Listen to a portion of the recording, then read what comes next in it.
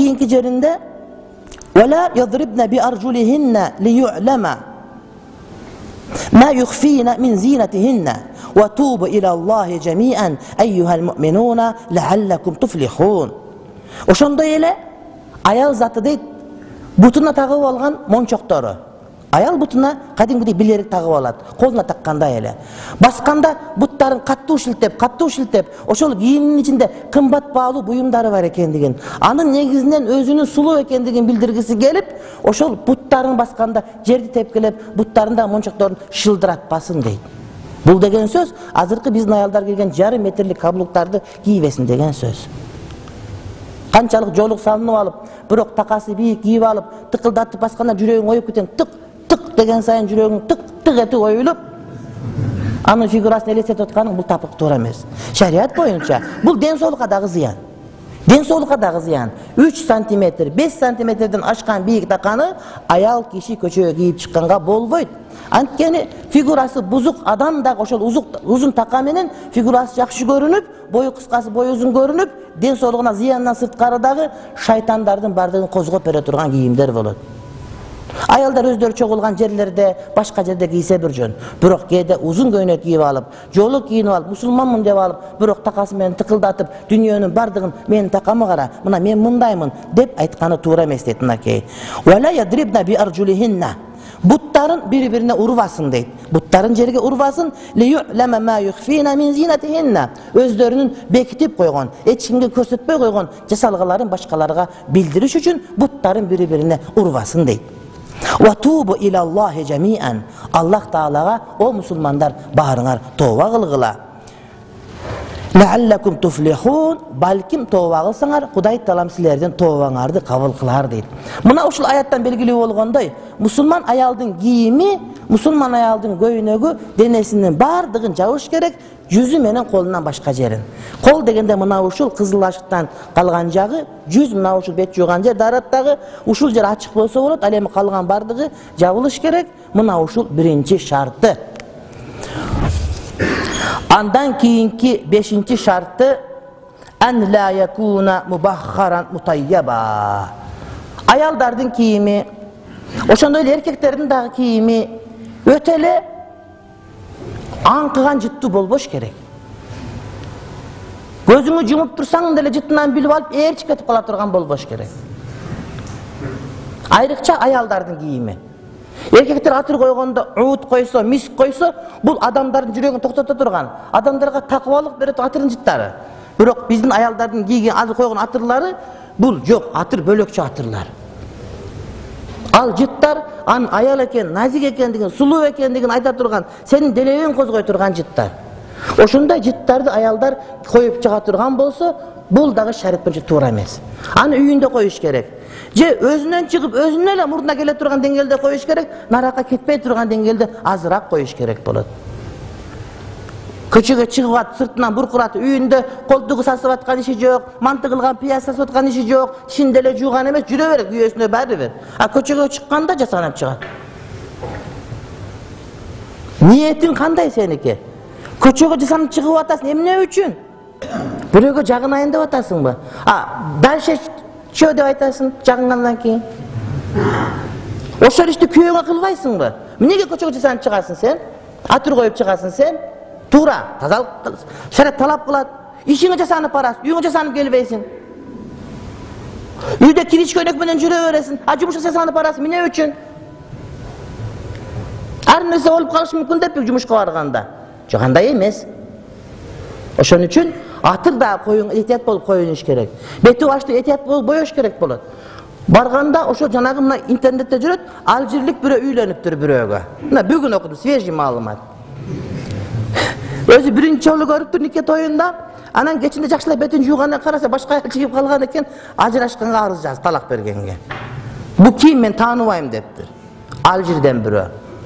ошол сыяктуу кээ бир адамдар көчөгө жасанып чыгып алып адамдардын баарын азгыргысы келет шарият боюнча аял заты жасаныш керек сулуу болуш керек башка болуш керек бирок маскарапоз болуп кетпеш керек ошол кийимден атыр буркурап чыгып башкалардын көңүлүн бура турган болбош керек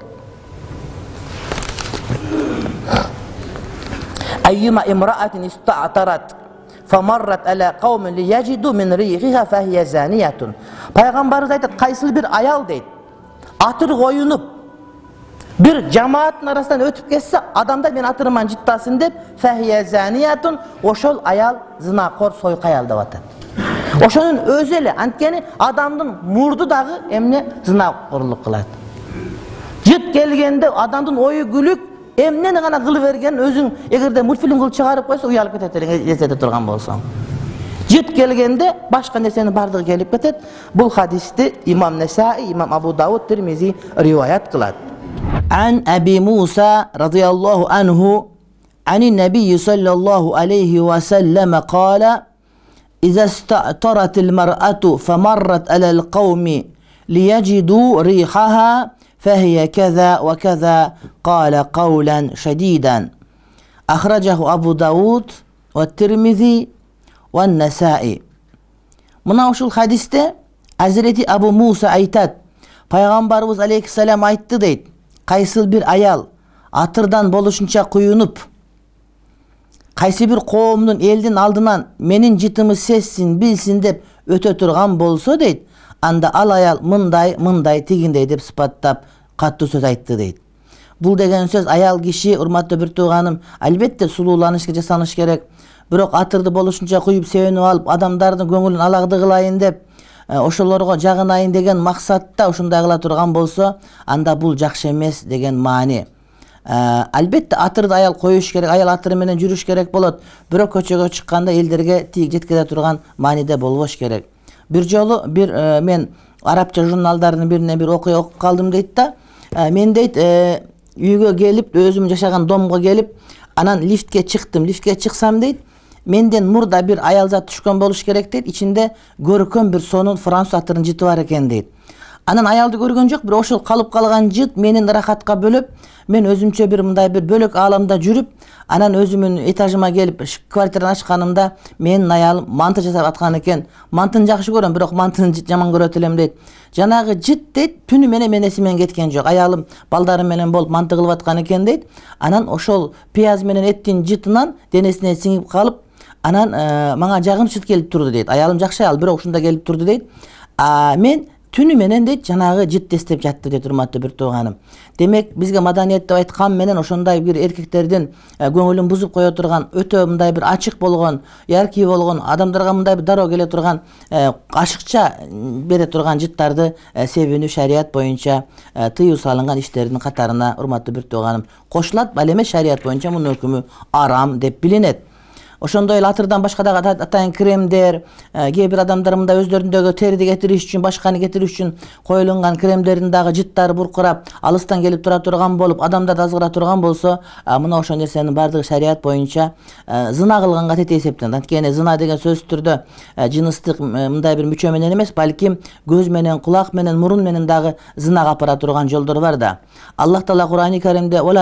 зина зынага жакындабагыла дегени ошол ойноштук уят ишке алып бара турган баардык иштерден алыс болгула деген маани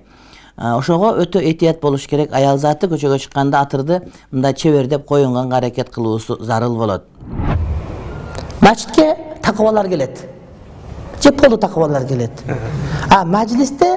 ар кандайлар отура бериши мүмкүн да обычно биздин мажлистерде көчөлөрдө фасыктар отурат акысын бериш керек го көчөдө карта ойноп отурган жөн эле түкүрүп отурган жана башкалар адатта фасык болот бул жерде мачит дегени мачит амму минал масжиди мажлис дегени мажлис мечиттен дагы жалпыраак болот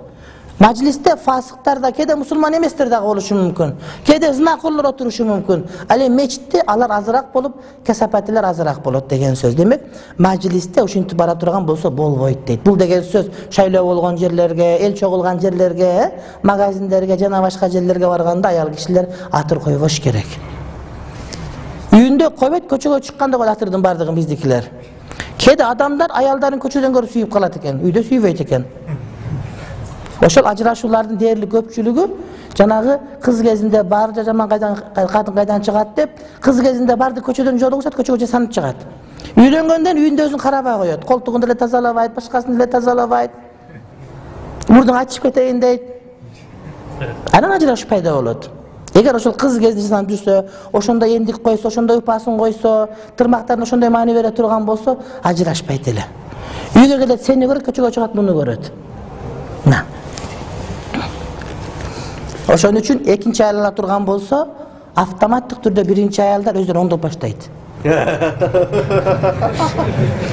Жарышуу деген сөз атаандашуу деген сөз болот. Мына муслим чыгарды кийин ислам жолу ал чыгарды атаандашып биринен кийин бирин болуп биринеке жөнөтүп атат күндөштүк бул деген оппозиция бул деген сөз эмне адамдын өсүп өнүгүүсүнө өбөлгө бере турган маселе. Экинчи аял алсаң эки аялдан тамак жакшы кылып баштайт. Экөө аялдар кантип кийиниш керек кантип тамак кылыш керек ошону баштайт сага кызмат көрсөтүп баштайт кимин жууган көйнөк алып барганын билип баштайт. Дагы токтоп барасың үчүнчүнү алып койсоң анын сайын ушинтип баштайт. Төрткө барганда кар өзүң да бышайын деп калган болосуң анан кете бересиң бешикке иншалла. Ошондой шарият көрдүңөрбү ар биринде хикмат бар